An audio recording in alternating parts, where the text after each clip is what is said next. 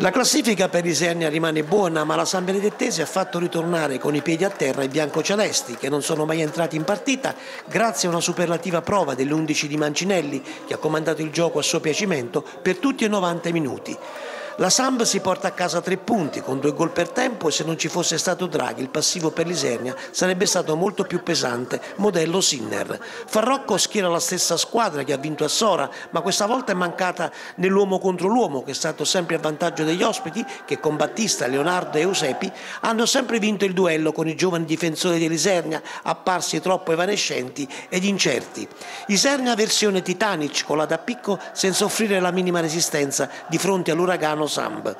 Al nono il giovane francese compie un'ingenuità difensiva su Battista su punizione dei 20 metri, Guadalupi manda di poco alto. Al decimo il miracolo di Draghi su colpo di testa di Candellori. Al dodicesimo ancora la samba pericolosa con il colpo di testa ravvicinato di Leonardo. Draghi salva con un portentoso colpo di Reni.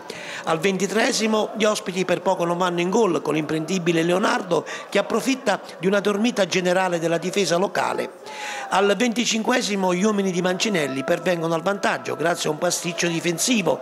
Leonardo si trova al punto giusto, al momento giusto ed a porta sguarnita non ha difficoltà a depositare la palla in rete. Liserni accusa il colpo e soprattutto si sente la mancanza in difesa di Jimenez. Sulle ali dell'entusiasmo gli ospiti premono sulla fascia destra dove Leonardo e Battista vengono controllati con difficoltà dai giovani francesi Mema e al ventottesimo è Guadalupi che con un tiro a giro cerca di sorprendere Draghi che devia in angolo. E lo stesso Draghi dopo due minuti a salvare di piedi su un tiro di Cheriota. Al 33esimo l'unico timido tiro in porta dell'Isernia con Cascio che non impensierisce il giovane Orsini. Al 41esimo la Samba raddoppia con lo scatenato Leonardo, il migliore in campo, che di testa mette in rete. Draghi tenta l'uscita ma non riesce a evitare il raddoppio.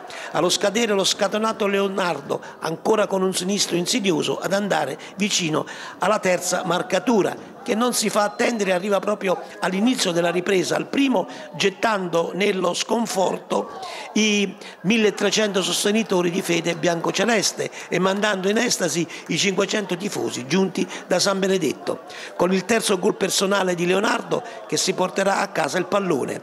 Partita in salita per i biancocelesti anche nella ripresa, mister Farrocco effettua qualche sostituzione, ma il gioco non migliora, è sempre la samba a menare le danze e a comandare il gioco a suo piacere piacimento. Al quindicesimo Draghi effettua due parate miracolose, risultando alla fine il migliore dei suoi. L'ingresso in campo di De Filippo migliora qualcosa, ma la difesa della Samp, imperniata sull'ottimo Gennari, fa buona guardia. Al ventottesimo arriva il quarto gol degli ospiti, realizzato da Cheriota. Termina così una gara meritatamente vinta dagli ospiti che hanno un organico di categoria superiore. L'Isernia dovrà meditare sugli errori, una squadra che se non approccia mentalmente la gara con la massima umiltà e concentrazione rischia di fare brutte figure. Con il ritorno di Jimenez, mister Farrocco potrà contare su un assetto difensivo diverso e dovrà lavorare in settimana soprattutto sull'aspetto psicologico per recuperare i suoi. Una difesa che subisce troppi gol, la peggiore del campionato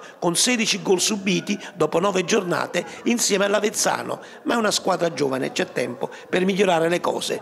La sua ambizione è salvarsi e se giocherà come ha fatto finora potrà riuscirci. Prossima tappa per l'Isernia nella Tana della Civitanovese, mentre la Samb affronterà in casa l'Ancona.